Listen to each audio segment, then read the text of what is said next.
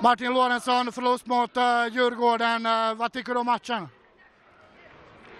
Ja, första halvlek som var helt okej okay, stundtals, eller mestadels. Vi hade en uh, kort period på några minuter som de hade lite tryck och uh, fick tyvärr ett mål. Uh, sen i andra halvlek tycker jag vi kliver ut jävligt bra. vänder matchen. Tyvärr får de ett skitmål ganska snabbt efter vårt ledningsmål där, så att, Sen står den och böljer lite tycker jag och de hade marginalen med sig i slutet. Ännu ett uddamålsförlust. Hur tungt är det? Ja, det är oerhört tungt. Det... Att vi inte får med oss något poäng alltså, de här jävla, ursäkta, men uh, uddamålsförlusterna, det, det känns jäkligt surt just nu.